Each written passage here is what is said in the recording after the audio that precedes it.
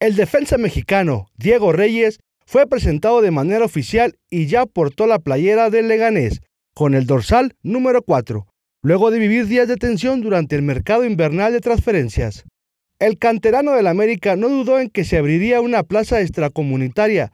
Todo quedó hasta el último minuto del cierre de fichajes del pasado jueves cuando el uruguayo Diego Rolán fue cedido al Deportivo La Coruña para dar cabida a Reyes Rosales.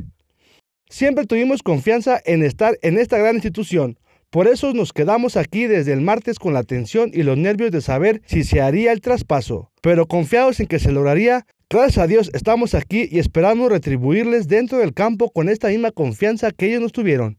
Luego de este pequeño nerviosismo, el zaguero mexicano ya se mostró comprometido en aportar su granito de arena para bien del cuadro pepinero. Para noticiel.mx, Zach Pérez. 9 de cada 10 accidentes son por fuga de gas.